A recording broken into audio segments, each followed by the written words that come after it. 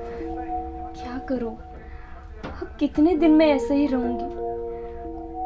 पापा भी सोच रहे होंगे कि ऐसी तो क्या बात हो गई। मुझे पापा को बता देना चाहिए। और एक ना एक दिन नहीं बताऊँगी तो पता चल ही जाएगा। बताना ही पड़ेगा पापा को।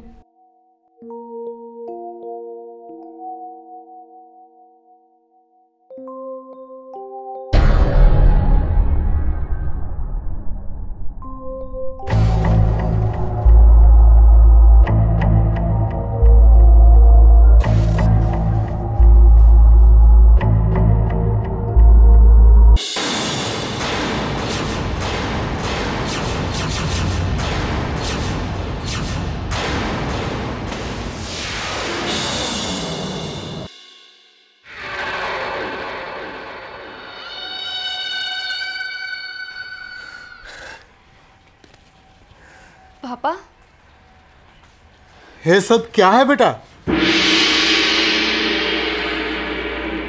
पापा पापा वो अरे बेटा राहुल ने हमारे साथ इतना बड़ा धोखा किया और तू बताती तक नहीं मुझे। अरे बेटा तू अंदर अंदर ही सहती रही। पापा बताती मैं आपको कि राहुल और उसके परिवार ने हमारे साथ इतना बड़ा धोखा किया। तू चिंता न कर बेटा। राहुल ने हमारे साथ इतना बड़ा धोखा किया। अच्छा नहीं किया। हम उसको छोड़ेंगे नहीं। हम आज ही इसके ऊपर पुलिस कंप्लेंट करवाएँगे। उसको छोड़ेंगे नहीं। बेटा, तू चिंता मत करना। नहीं, पापा। मैं पुलिस कंप्लेन करना नहीं चाहती। मैं कुछ भी करना नहीं चाहती। मैंने उनको बहुत समझाया। मैंने उनको बहुत प्यार देने की कोशिश भी की। लेकिन शायद शायद मेरी किस्मत में ही कमी थी और मेरे प्यार में भी। कि मुझे ये दिन देखना पड़ा। लेकिन पापा, मैं कुछ भी करना नहीं चाहती, मैं पुलिस कंप्लेन नहीं करना चाहती। मैं उनको सज़ा नहीं दिला सकती, क्योंकि मैं उनको प्यार करती हूँ। और पापा, बस आप मेरी इतनी बात मानिए। हमारा डिवोर्स करवा दीजिए। मैं उनको डिवोर्स दे के आज़ाद करना चाहती हूँ। ठीक है बेटा। लेकिन मेरी एक बात मान तू। मुझे एक बार राहुल को समझाने का मौका दे। शायद कोई रास्ता निकल जाए बेटा। एक मौका दे मुझे बेटा। लेकिन पापा वो नहीं समझेंगे। मुझे पता है वो आपकी बात भी नहीं मानेंगे। मैं जानती हूँ उनको वो किसी की नहीं सुनते। लेकिन बेटा मेरे मन की तसल्ली के लिए भी मुझे एक मौका तो दे। शायद कोई अच्छा परिणाम मिल सकता है। ठीक है। अगर आपकी यही इच्छा है तो आप ये भी कर लीजिए। लेकिन बस आप उनको किसी भी बात का फोर्स मत करना।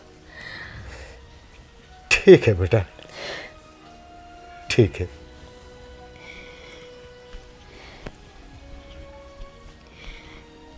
कैसे बताऊँ पापा? एक साल साथ में रहने के बाद भी राहुल ने एक भी बार मेरे सामने नहीं देखा। चाहे मैं कितनी सज लूँ, कितनी सवर लूँ, कितना ही अच्छा खाना बना के दे दूँ, उनकी कितनी सेवा कर लूँ। उन्होंने मुझे आज तक अपनी पत्नी के रूप में स्वीकारा ही नहीं। वो इंसान आपके कहने पर कैसे मान सकता है?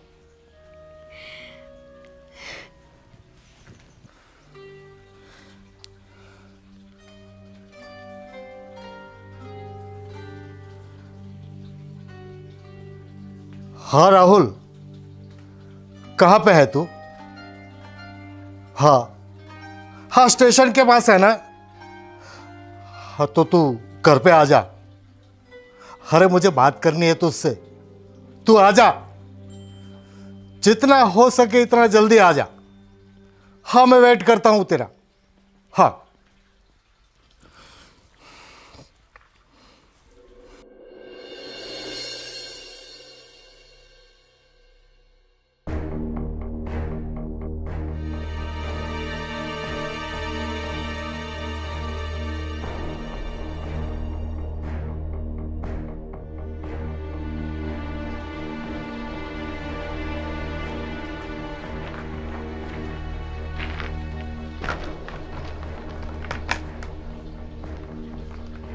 ये सब क्या है राहुल?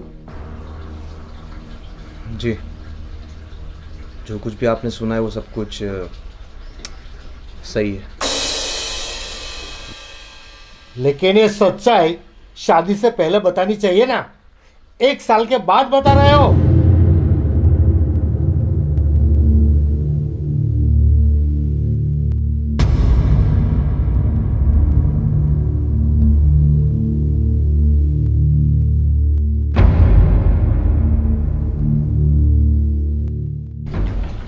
दरअसल बात यह है कि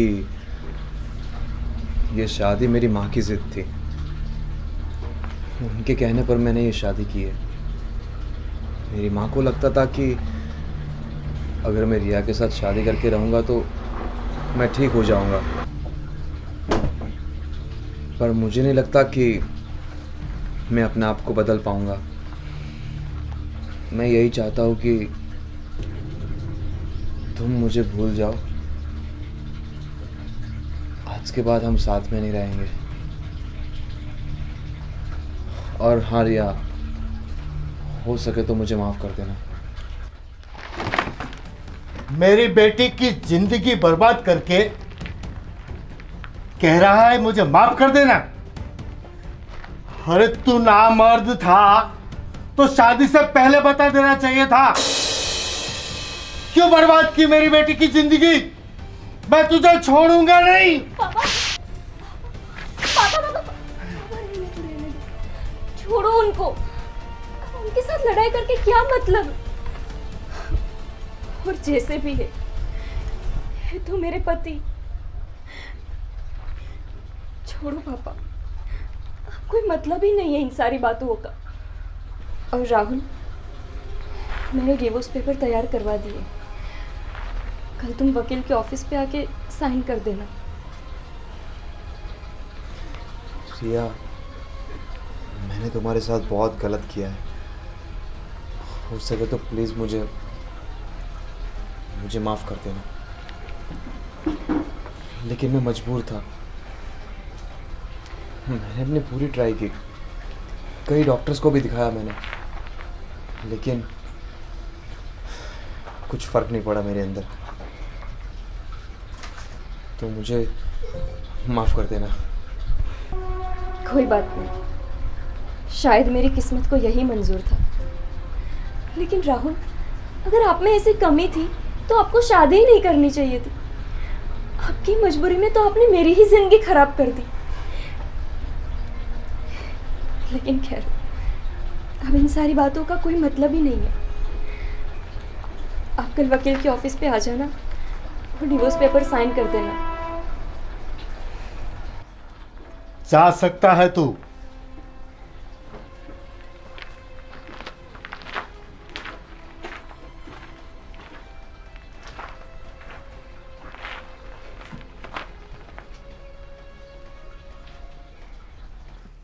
तो दोस्तों, जैसे कि आपने देखा कि ये जैसे स्टोरी में आपने देखा कि काफ़ी बार ऐसा होता है कि शादी में धोखा होता है रीज़न चाहे कोई भी हो, काफ़ी बार ये भी रहता है कि शादी करने के टाइम पे जब लड़का देखना, देखने के लिए आता है अपने परिवार के साथ, तब उसकी इनकम जो बताता है वैसे इनकम नहीं होती।